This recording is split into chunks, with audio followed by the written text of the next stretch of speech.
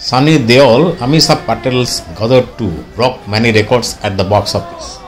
A success party was organized for the same and most of the Bollywood showed up to cheer the team up.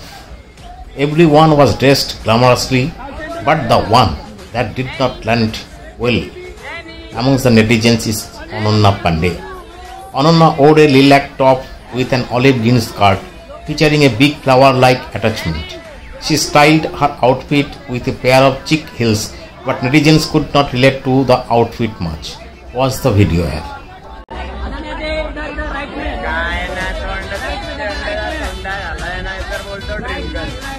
काय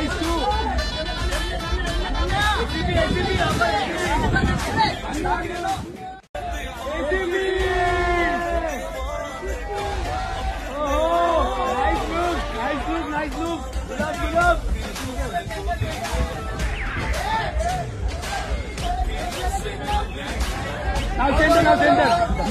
Any, ACP. any, Anu, come on, Anu, Anu. any any.